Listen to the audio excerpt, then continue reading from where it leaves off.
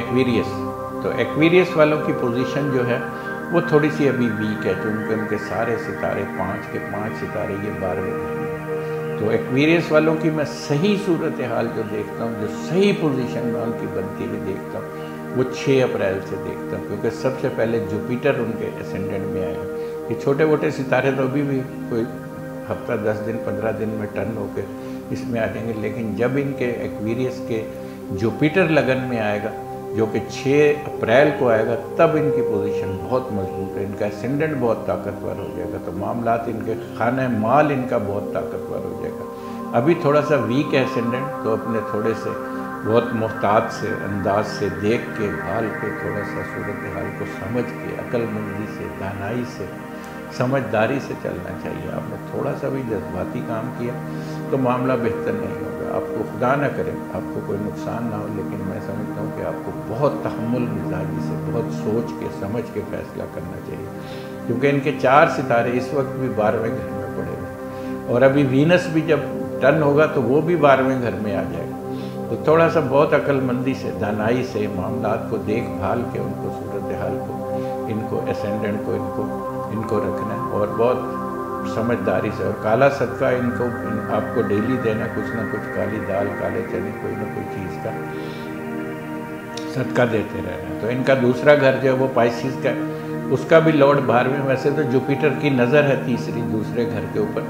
तो वो इतना ख़राब नहीं है। जुपिटर उसको उसको बल दे रहा है ताकत दे रहा है उसको। तो वो ख़राब नहीं है। आप थोड़ा बहुत रिस्क लेके काम कर सकते हैं। लेकिन फिर भी बड़ी अक्लमंदी और दानाई से आपने सोच समझ के चलना है, जो भी फैसला करना है, बहुत सोच समझ के करना है। जो माहा वगैरह करें या मुस्तबिल के हवाले से कुछ सौदे वगैरह करना चाहते हैं, उनको भी बड़ी देखभाल के फैसला करना है। इसी तरह तीसरा घर जो है, वो भी थोड़ा सा वीक है।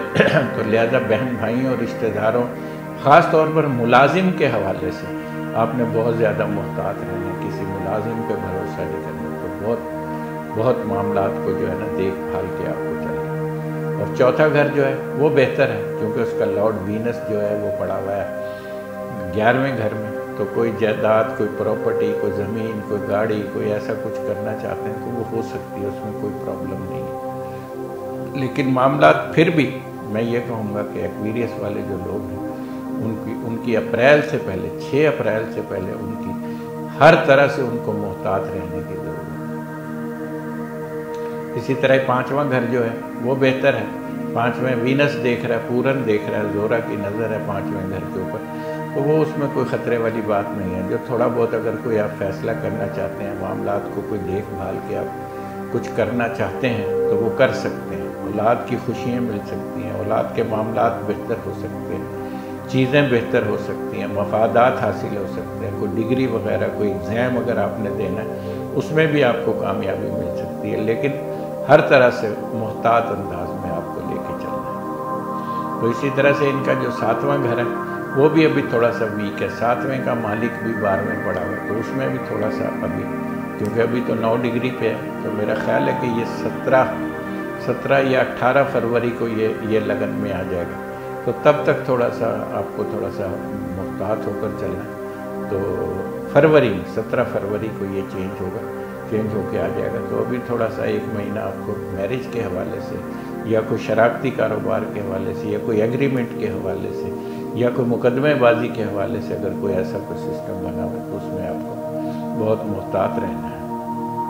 अच्छा इसी तरह नावा घर जो है, नावा घर भी बेहतर है, नावा घर काफ़ी बेहतर है, नावे का लॉर्ड जो है वो ग्यारहवें पड़ा हुआ है। तो नावा घर बेहतर है, मफादात, फ़ायदे, इनामी बॉन्ड इनामी स्कीम इस तरह की कोई अगर कोई सूरत हाल आपकी बनी हुई है तो उससे आप जो है वो वो फ़ायदा उठा सकते हैं। कोई नामी बॉन्ड ख़रीद के, कोई नंबर ख़रीद के, नंबर नौ नंबर अगर आप यूज़ करते हैं तो वो आपके लिए बहुत अच्छा बहुत लकी नंबर होगा नौ आपके लिए। इस वक्त आपको कोई बॉन्ड वगैरह या लॉटरी या लकी लॉटरी कोई आप नौ नंबर के हवाले से अगर कोई आप लॉटरी लेकर इस्तेमाल करते हैं तो वो आप विनर करेंगे, उसमें आपको कामयाबी होगी इन तो इसी तरह इनका दसवां घर जो है वो भी अभी थोड़ा सा इतना बेहतर नहीं है। जब तक जुपिटर एसेंडेंट में नहीं आता, थोड़ा सा मुहतात होकर चलना है थोड़ा एहतियात से चलना है देखभाल के चलना है मामला अभी बुरज दल्लू एक्वीरियस वालों के लिए इतने फेवरेबल नहीं, लेकिन फिर भी थोड़ा बहुत अपना देखभाल के चलें और मोहतात अंदाज में चलने की ज़रूरत है। तो इसी तरह इनका जो